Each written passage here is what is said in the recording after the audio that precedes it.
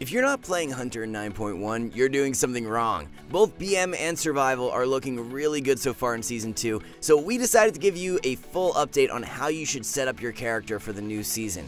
We will be breaking down talents, gear, macros, and everything else you need to know for both specs and PvP. So take a seat and enjoy our update to these high tier legends of Season 2. And if you're looking for a one stop shop to absolutely crush your opponents in this new season, look no further than Skillcapped. Over on our site, you'll find guides that perfectly follow up this entry level guide, including our world class courses that walk you through everything you need to know to bring your Hunter gameplay up to the level of a pro. We will be developing an upcoming course showing you how to damage, CC, use cooldowns, and exactly how to execute your playstyle to a standard that only the world's best players understand. In addition, weekly releases of arena commentaries allow you to keep up with the ever evolving meta and learn how to take down some of the most difficult matchups. And if that wasn't enough, SkillCap members get exclusive premium access to our Discord server where you can question our team of pros with anything you need to know, all from as little as $4.99 a month. Like many classes in PvP, Hunter has some obvious picks for best race on both factions.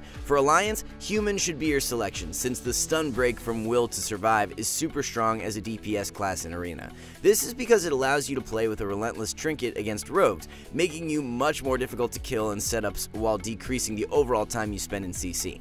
For Horde, Orc is your best choice, once again for how well it counters rogues. The stun reduction from hardiness is really powerful in PvP given the amount of stun effects in the game. We should also note that orcs get a 1% damage increase to all pets, giving you more passive damage than the other horde races. With that out of the way, you're going to need to set up your talent tree, and we're going to show you talents for both specs, starting with survival. For your first tier, your choice here is between Viper's Venom and Alpha Predator. This really depends on what talent you're playing on your fourth row, which we will get to later. If you're playing with Steel Trap or Murder of Crows, then choose Viper's Venom, as it will give you a passive DPS increase, whereas if you are playing Bloodseeker, then use Alpha Predator, since the talents synergize well together. Guerrilla Tactics is your best talent by far on the second row, as it gives you the highest DPS increase by buffing one of your primary damaging spells. Both Camouflage and Natural Natural Mending are both good options for your third tier. Camo will give you more consistent openers and a very reliable way of resurrecting your pet in the middle of the game. Natural Mending might be better in matchups where there is a lot of passive damage, like against Shadow Priests or Affliction Warlocks. Every talent on the fourth tier has its place in the meta, with Steel Trap being really good in the early season as melee cleaves dominate the latter. However, Bloodseeker is an alternative choice, especially if you are playing with Alpha Predator, as it will give you good consistent damage. Murder of Crows, on the other hand, is a more burst-oriented talent and works well into low armor targets. Post Haste is by far your best choice for your 5th tier, since it dramatically increases your mobility, which is a huge defensive boost in a melee heavy meta. Flanking Strike should be your default pick on your 6th row, since it gives you an additional bursting tool. Mongoose Bite has the potential to be really strong, but requires high levels of haste in order to fully benefit from its effect. And finally, Chakrams is your default choice on your last tier, giving you an additional ranged burst option and a way to kill totems and war banners. Wildfire and Fusion can be played if you are using Mongoose Bite from your previous tier, since both talents synergize together. BM talents are a bit less flexible, especially on your first and second tier, where Animal Companion and Scent of Blood are your best options by far, Animal Companion gives you the highest DPS increase, while Scent of Blood gives you more cooldown reduction on your Bestial Wrath. Just like Survival, your third tier is a toss-up between Camouflage and Natural Mending, with Camo being great when you want a reliable opener, and Natural Mending being preferable when you and your pet will be taking lots of consistent damage. Thrill of the Hunt should be your default option on your fourth tier, since it gives you the most sustained damage increase. You can play Murder of Crows if you want more burst, however. Just be aware that its damage isn't as good as a high armor targets. Just like survival, post haste is your best choice on your 5th tier, especially if you are the kill target. You can play with binding shot if you want an extra root effect against melee cleaves, and you don't personally need extra mobility. As for your final two tiers, both stomp and aspect of the beast are always your best talent choices, both giving you the most consistent damage output while having ease of use. Both Survival and BM share a bunch of PvP talents, so we will go over the situational uses of each for both specs. In general though, Roar of Sacrifice is usually a default talent that rarely ever gets swapped out. It is an amazing defensive cooldown for both you and your teammates. Survival Tactics is also a really good default option, giving you an on-demand dot removal and massive temporary damage reduction. You should definitely use this talent if you're playing with Camouflage since it can give you clean re-stealths. There are plenty of situational talents which both specs share. The first is the newly added Chimaeral Sting. This is a solid general option into comps that lack a poison dispel and is really good into RMP as either a defensive silence on the mage to reduce damage or as a blanket on the priest in order to reliably land traps. Tranquilizing Darts was also added in 9.1 and can be played into any team with a Resto Druid since it can decrease the duration of all hots whenever your interrupt or tranq shot is used. Wild Kingdom is a niche option in situations where you find your pet constantly dying in arena. If the enemy team is focusing your pet, or if your healer isn't doing a good job keeping it up, you can play with this talent to avoid these problems. Dragon Scale Armor is not frequently played due to dot cleaves being less popular, but it should be used against any dot-based spell cleave like Shadow Play.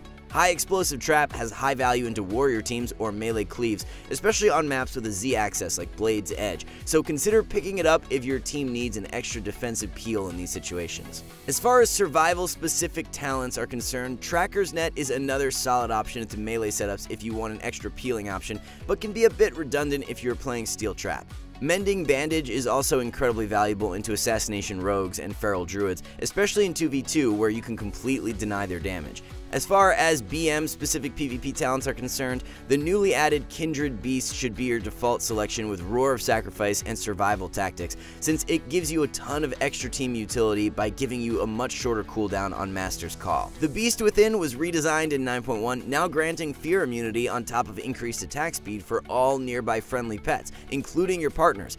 This should be selected into Warlock and Shadow Priest teams, since it gains enormous value into any team with a fear effect. Overall, Hunter talents are super situational and there isn't really a cookie cutter setup. Instead, you should select your talents based on the needs of your team. With that in mind, playing with Roar of Sacrifice and Survival Tactics is good into most comps. Luckily, your best Covenant is the same for both specs and hasn't changed going into Season 2. Venthyr is by far your best choice since it gives you one of the strongest active abilities in the game with Flayed Shot. This ability works great as both specs because it gives you an entire burst ability and ranged execute that you can pair with other burst cooldowns. Door of Shadows also works really well as Hunter, giving you extra mobility and another way to reliably land traps on enemy healers and it just so happens your best soulbind is the same for both specs, with Nadjia the Mistblade being the best option. Here we have the soulbind paths for both specs, with some of the conduit slots varying slightly between them. On the left is survival, and on the right is beast mastery.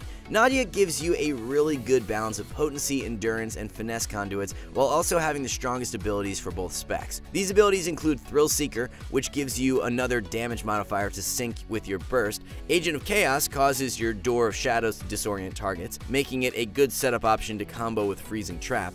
Nimble Steps is a newly added passive defensive proc, which roots enemy players when you drop low, which will be really useful in the early stages of the meta when melee cleaves are dominant. And finally, the new end capability ability called Fatal Flaw is an absolutely broken damage modifier, giving you 20% increased versatility every time your Euphoria ends, once again allowing you to sync up your cooldowns with its proc. With your Soulbind selected, you're gonna need some conduits, so let's break it down by type. No matter what spec you're playing, Empowered Release is a mandatory potency conduit, giving you more flayed shot procs and increased damage on your ranged execute. For survival, both Strength of the Pack and Stinging Strike should be your remaining conduit selections, as both give you moderate damage increases in Arena. For similar reasons, both One with the Beast and Bloodletting should be your remaining two potency conduits for BM, once again being best for overall damage output. For both specs, Resilience of the Hunter is your best endurance conduit, followed by Rejuvenating Winds and Marksman's Advantage. Resilience of the Hunter should always be selected since flat out damage increases are always strong in PvP. And finally, Tactical Retreat and Ambuscade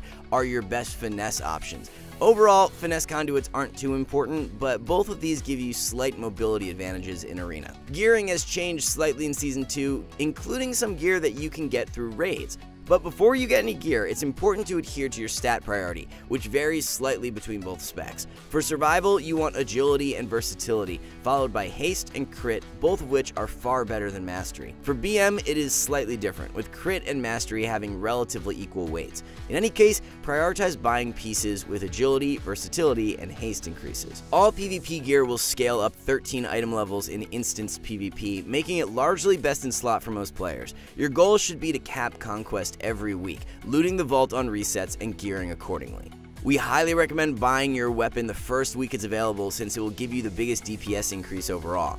As for your trinkets, unless you are human, we highly suggest playing with a Medallion trinket, since an instant CC break is super strong in a fast-paced meta. As human, you can play with the Relentless trinket, which works really well into comps like Rogue Mage because you already have a stun break with your racial. For your second slot, the newly added Shackles trinket is performing really well in Arena right now, giving you a massive boost to your primary stat and being a really disruptive offensive ability. The Emblem trinket is still a solid defensive choice in matchups where you might want an additional defensive, like when you you are playing RMP. And finally, you can opt to play with the Insignia Trinket if you want to do as much burst as possible by lining it up with your offensive cooldowns, while also giving you a huge boost to your best secondary stat. Some pieces of the new Sanctum of Domination raid drop gear with special sockets for gems called Shards of Domination. These shards have special effects which are nerfed by 50% in PvP and can be put on very specific pieces from the new raid. While you certainly can benefit from this gear in PvP, it isn't mandatory for your success due to Conquest gear scaling up 13 item levels in arenas and RBGs. If you manage to get a piece of socketed gear from the new raid, make sure it has versatility and haste on it, otherwise it is probably not worth using. Luckily for you, your best legendary is still the same for both specs going into Season 2. The Craven Stratagem legendary is arguably one of the best effects in the entire game for PvP. It can be used to remove debuffs that otherwise can't be dispelled by players. This includes things like Spear Bastion from Kyrian Warriors, Bleeds from Assassination Rogues and Feral Druids, and pretty much any slow in the game. Combined with the Survival Instincts PvP talent, this makes your Feign Death one of the best defensive cooldowns in the game and is a massive counter to dot-based classes. For the meantime, we really don't recommend ever swapping this legendary in Arena. It's simply too good to pass up for now. Finally, let's go over some of the most important macros you will need as a hunter in PvP. Focus macros are an integral part of any class, and you generally want at least one focus macro for your interrupt so you can quickly deny casts without swapping targets. One type of macro many players don't know about are cursor macros, which allow you to use targeted ground spells wherever your cursor is currently located. This prevents you from having to click the ground before using your traps, flare, or binding shot. You should also make macros to use Roar of Sacrifice and Master's Call on yourself. This can be done by simply adding an at player command right before the spell name. And we highly suggest making similar macros, but this time for your party members. Make separate macros with at party 1 and at party 2 commands for each of these spells to quickly use them on your party members, regardless of who you are targeting. Next, we highly suggest making stop casting macros for some of your important spells, like Disengage and Feign Death. This will ensure you always use these abilities instantly in case you try and use them while casting. Finally, we highly suggest making cancel aura macros for your aspect of the turtle by adding a command to remove the buff in order to use your interrupts or other important spells. This will ensure that you can quickly react to casts or other important events even if you have aspect of the turtle up. We have a list of spells you might want to consider here and you can modify them if you'd like with focus commands as well. And there you have the introduction to our Hunter course for Season 2. If you're interested in seeing more, be sure to check out skill-capped.com slash wow, where we will be updating all of our content for patch 9.1. You can gain access to the rest of our class courses, as well as our exclusive arena commentaries, which take you into the minds of the best players in the world. Both BM and Survival are looking really strong going into Season 2, and you are off to a really good start if you manage to follow everything in this guide. As always, thanks for watching, see you soon.